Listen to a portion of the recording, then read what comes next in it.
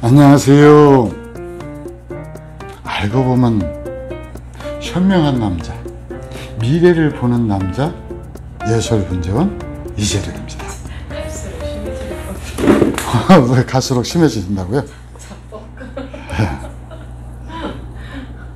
제가 요즘 이렇게 유튜브를 보면서 느끼는 것 중에 하나가 참, 이 단순한 사람들이 참 많다. 요새 지금 석화이가 유행이잖아요. 그래서 이 우리, 우리 부감독님이 이 석화이를 작년에 아, 이렇게 아, 삽목을 했습니다. 올해 그 석화이하고 짜보 열풍이 불었죠. 네, 열풍이 불었습니다. 아, 그리고 그 가격이 또 만만치가 않았죠.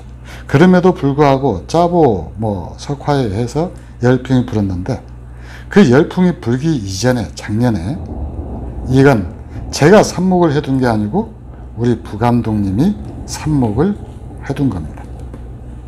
그러니까 짜보와 아, 석화이가 열풍이 불기 직전에 예, 우리 부감독님은 이제 이것이 나무가 참 좋다 재밌다 해가지고 이걸 갖다가 삽목을 해주면서 자기는 몇 주만 가질 테니까 저보고 다 가지랍니다.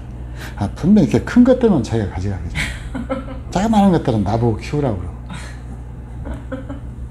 이 짜보나 이 석화의 특징이 뭐냐면은 이것은 지금 그 누구야 녹소토 녹소토 거기 보이는 게 녹소토처럼 보이는데 네, 녹소토에다가 뿌린 게 삽목을 한 것 같아요.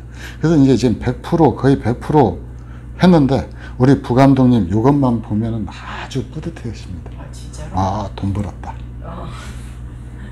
그래도 약속은 꼭 지켜야 된다고 말해주세요 아, 약속은 꼭 지켜야 된다고 부감독님 아셨죠? 약속 꼭 지켜야 된답니다. 자, 그런데 이제 이게 본격적으로 뭔 얘기가 나오느냐?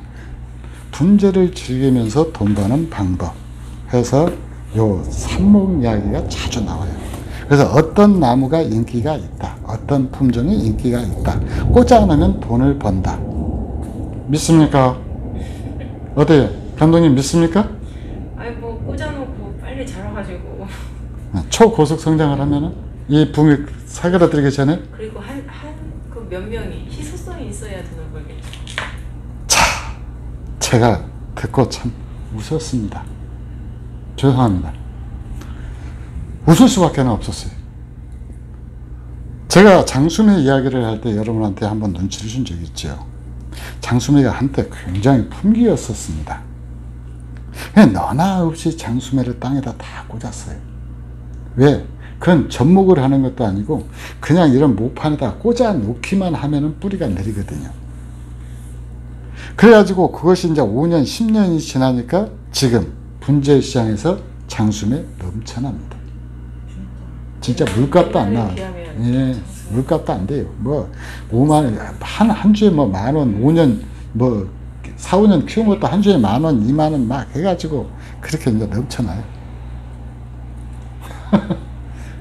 근데 그것만 그러는 거 아니죠. 요새 분재 시장에서 넘쳐나는 소재들을 보면은 또 뭐가 있는 거니? 철쭉. 외철쭉 종류. 그 나무도 그 철, 외철쭉도 꽂기만 하면은 전부 뿌리가 내려요. 거의 다 거의 잘 뿌리가 내립니다. 그래서 꽃이 이쁘다 그러면은 이게 돈을 떠나서 가, 이 뭐라 그럴까 그 판매를 하고 어쩌고를 떠나서 그냥 꽃이 예쁘니까 버리기 아까워서 꽂는 거예요. 우리 감독님도 그런 나무 많습니다. 음. 근데 과연 그게 돈이 될까요? 아무나 꽂아도 뿌리를 내리고 아무 때나 꽂아도 뿌리를 내리고 여기 어. 보면 많아 그래서 10년 된 것도 나중에 이제 너나 없이 다 꽂아 놓으니까 10년 된 것도 만 원. 응? 20년 된 것은 만 오천 원. 저는 그런 분들을 진짜 모르겠습니다. 왜 그런 식으로 이 사람들을 호도를 하는지. 조금만 생각해 보면은 너나 없이 쉽게 꽂은 나무는 이게 수요와 모든 것에는 수요와 공급의 법칙이 있잖아요. 그러면 수요가 있으면 공급이 있고 또 공급이 또 넘쳐나면은 당연히 가격은 폭락을 하게 돼 있죠. 그 사유 시간에 중학교 때 사유 시간에 수요와 공급 곡선이 그 원리거든요. 물론 붐이 일어서 많은 사람들이 그걸 찾을 수는 있어요. 그런데 여러분들 같으면은 요거 키워서 요거 지금 만 원이라고 합시다. 이 정도 되면은 지금 한 5천 원 하는 거예요? 지금 아마 5천 원 정도 할 거예요. 자, 이거 하면은 1년 키우면 5천 원짜리 되는데 이거 사시겠습니까? 만 원짜리 사다 몇 개 끊어가지고 늘리겠습니까? 어떻게 하실 거예요? 안 할 거예요. 근데 이거는 그냥 꽂, 꽂아서 돈이 되는 게 아니라 이거를 얼마나 잘 갖고 왔느냐 10년을 키웠어도 10년을 키워도 만 원짜리 저는 우리 감독님하고 이제 이혼을 해야 될 것 같습니다.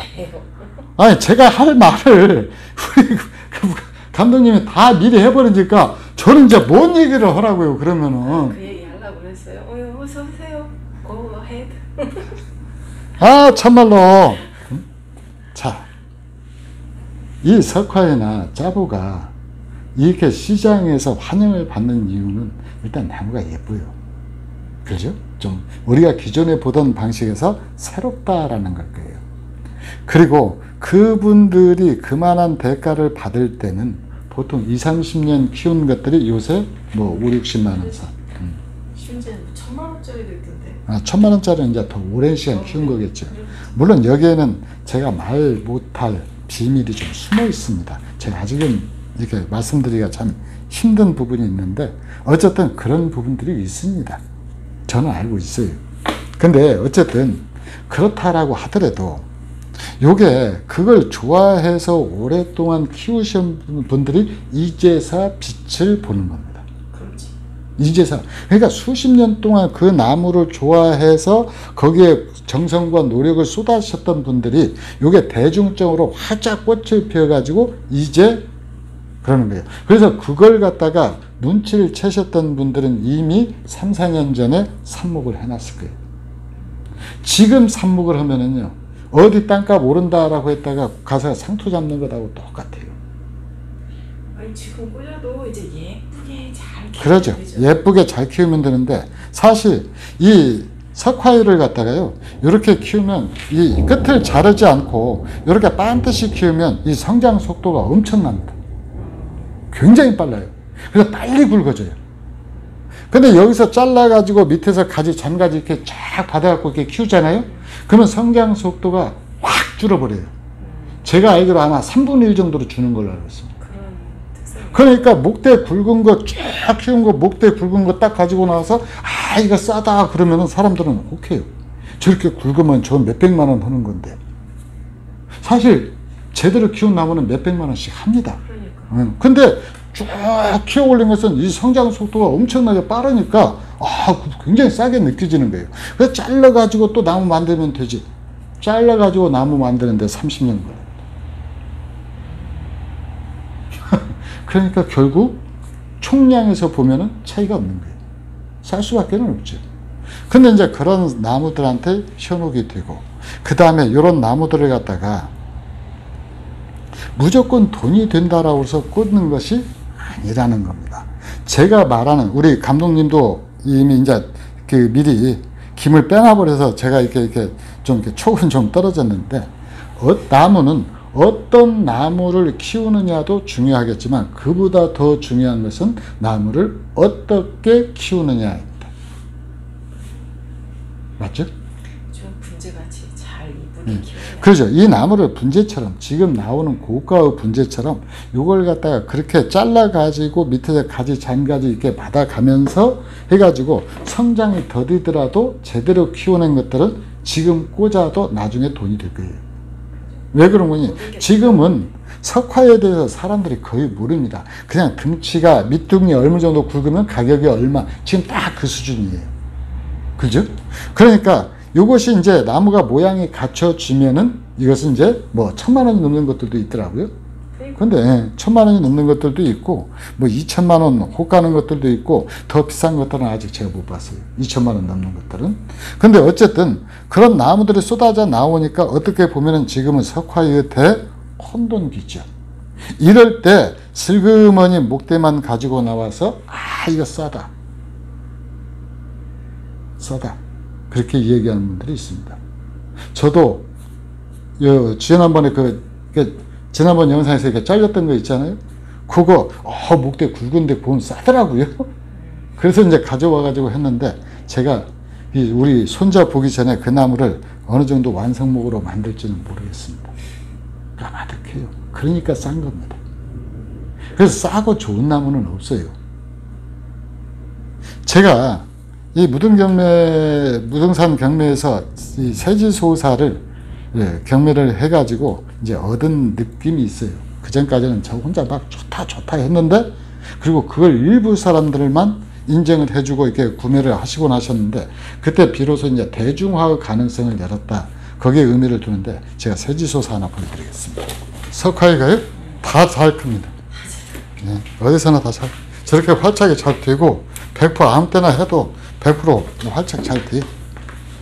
자, 저, 저는 소사에 미친 사람입니다. 이 소사에 미쳐가지고, 그리고 가장 또 소사를 좋아하죠. 근데 제가 무등 경매를 보고 나서 그 다음에 이제 어떤 분께서 또 이제 저보다 멀, 먼저, 그러니까 14년 전에 취목을 했다. 근데 그 나무들은 20만 원에서 30만 원 선까지 팔렸죠. 예, 그 정도 제가 팔렸던 걸로 기억을 합니다. 그 추목을 갖다가 해도 그 나무들은 내가 착 보니까 제가 제 나무만 보다가 그렇게 이제 앞서서 추목을 하셨던 그 분은 나무를 딱 보고 나니까 이제 제가 마치 거울을 보듯 제 나무가 제대로 보이기 시작하는 거예요. 그리고 아, 그건 나도 그랬어. 예, 기억나십니까? 근데 그 나무하고 우리 나무하고 확연한 구분점이 있었죠. 어, 뭐 있죠? 근장이었죠. 이 저희 나무는 이 그루 소슴새 근장 이 부분에서 요 부분 자 이렇게 근장이 뛰어나게 발달을 해요. 그리고 이 근장이 계속 커 나가면서 이 나무 작품 가치를 높여주죠. 근데 그걸 갖다가 우리 구독자님들이나 회원분들이나 이런 분들이 이제 이해하고 인정을 하셨다라는 거죠. 그러니까 세 배 이상의 돈을 주고 두 배, 세 배의 돈을 주고 이 예설표 이 세지소사를 선택하는 거겠죠. 그러니까 이 나무 현재를 바탕으로 해서 장례를 구입하는 겁니다. 여러분들 서울에 계시는 분들, 경기권에 계시는 분들 소사 고급수는 전부 일부 전문 매니아들만의 나무였어요. 그래서 소사는 거들떠보지도 않았습니다. 근데 예술에서 소사를 들고 나오면서 이 분재원을 하시는 분들, 분재 관련 일을 하시는 분들이 한결같이 하는 얘기가 이제 소사 비싸서 못 팔아먹겠다. 그건 아직 멀었습니다. 소사의 제대로 된 가치를 갖다 발견하기에는 아직도 넘어야 할 산이 굉장히 많이 남았어요. 그만큼 이 나무는 매력이 있는 나무고 또 가치 있는 나무고 진짜 앞으로 보여줘야 될 것들이 무궁무진하게 남아있는 것이 소사입니다. 그래서 요 나무는 자 소재를 사다가 제가 26년 키운 나무죠. 그러면 소재를 산에 산채한 소재를 갖다가 제가 구입해 가지고 가지를 만들어서 이건 아마 수관에서 따낸 걸 겁니다. 수관에서 따낸 건데 이것이 지금 정확하게는 8년생 아니면 7년생 아니면 8년생 7, 8년생이면은 최소한 17년, 18년 동안 나무를 계속 가지를 자르면서 모양을 다듬어 가지고 이 분에 올린 거죠. 취목을 해서 올린 거죠. 그러고 나서 이제 다시 여기서 7, 8년을 갖다가 성장을 한 거예요. 맞죠? 근데 이런 나무들이 그렇다고 그러면 예술의 소사가 전부 100%다 이렇게 좋은 나무냐? 아니에요. 어, 아닌 것도 있습니다. 제가 이 여러 가지 실험을 하다 보니까 한 번은 진짜 성냥개비 같은 나무들도 다 취목을 한 적이 있었어요. 미쳤죠? 성냥개비 같은 나무도 취목을 해봤습니다. 지금까지 결론은 뭐냐? 손가락 굵기의 소사를 갖다 취목하는 것이 가장 좋다. 그리고 제가 엊그저께 어떤 단풍나무 하나가 또 이렇게 그 시장에 나왔길래 유심히 봤습니다. 아마 제가 찍는 걸 보시는 분도 있었을 거예요. 근데 제가 그 나무 깔끔하게 포기했습니다. 왜 그랬는 줄 알아요? 왜 포기했어? 근장은 기가 막히게 좋았어요. 근데 깔끔하게 포기했어요. 아, 알았다. 왜, 왜 그래? 철사 자국? 찰사장 때문에 그래. 철사 철사 자국 이렇게 안쪽을 보니까 네. 철사 자국이 가까이서 근접 촬영해서 보여주는데 철사가 구렁이 감듯이 철사 자국이 거예요. 그러면 그 나무는 아무리 윗대가리가 그럴싸하게 만들었어도 우리 부감독님 말씀대로 그냥 소재예요. 처음부터 다시 키워야 됩니다. 제 원칙은 그래요. 그래서 철사 네. 자국을 좀 많이 싫어하죠. 그래서 저뿐만이 아닙니다. 석화를 갖다가 키우셨던 분들도 아마 제 마음대, 마음처럼 키우셨을 겁니다. 그러니까 현재에 와서 그걸 인정을 받는 거예요. 맞죠? 그 세지소사 역시도 저 그렇게 제가 쏟을 수 있는 모든 기술과 정성과 노력 거기에다가 하늘이 준 행운까지 그것까지 총합되어서 나타난 거예요.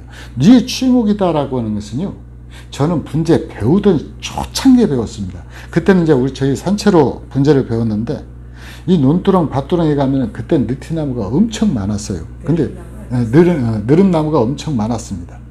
이 느릅나무를 갖다가 약을 제초제를 뿌려도 안 죽으니까 계속 나스로 치는 거예요. 그래가지고 이 뭐야 돌 틈에 들어간 부분은 매끈한데 그 윗부분은 막 울퉁불퉁 해가지고 되게 묘묘하게 가지들이 받아져 있더라고요. 그러면 그 무거운 돌을 제 이 어리고 약한 몸으로 어떻게 다 드러내겠습니까? 그죠? 그래서 그때 취목을 다 땄던 거예요. 취목을 따서 가져왔죠. 그 취목 기술은 제가 이야기를 했지만 별거 대단한 거 아닙니다. 누구나 한두 번 해보면 할 수 있어요. 문제는 팔방근을 만드는 거. 그리고 이 그루 소슴새나 근장을 만들어가는 것. 거기서 한 단계 더 나가서 호구를 만드는 것. 이런 것들이 전부 기술에 해당이 되죠. 그리고 이렇게 키웠기 때문에 여러분들이 인정을 해주는 것이지, 요걸 갖다가, 요걸 갖다가 300년을 키운대. 응? 지금 딱 욕심나는 게 하나 있습니다. 여기 지금 수강부 침묵한 부분이. 요거 분명히 저 안 줄 겁니다. 자기가 가져갈 거예요. 자기가 가져. 응, 자기가 가져갈 그렇게 거예요. 말했기 때문에 이제 진짜 가져가. 아, 근데 말하지 말지 그랬어요. 이 분명히 자기가 가져갈 거예요. 요 부분은 대충 키워도 나중에 나무가 됩니다. 어, 수감부랑. 수강. 예, 수감부랑. 근데 요거 있는데 절대 안 줄 것 같아요. 이 두 개는, 이, 아마 나는 이게 다 필요 없고 이 두 개만 주면 되는데 자기도 마찬가지로 이 두 개 가져갈 테니까 나머지 다 가져 그럴지도 몰라요. 그렇습니다. 나무를 키운다라고 하는 것이 이 소재를 생산한다라고 하는 것 어떤 나무가 좋다 어떤 나무가 좋다 현혹되지 마십시오. 여러분이 좋아하는 수종을 애정을 갖고 오래 키우다 보면은 누군가가 그것 가치를 알아보고 인정을 해주는 겁니다. 유행을 따라가다 보면요 결국 잡는 것은 상투밖에는 없습니다. 자 이상 유예솔 분재원 부드러운 남자 이재령이었습니다. 감사합니다.